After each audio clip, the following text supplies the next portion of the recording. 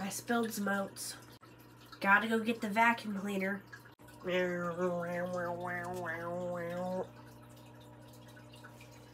Good job.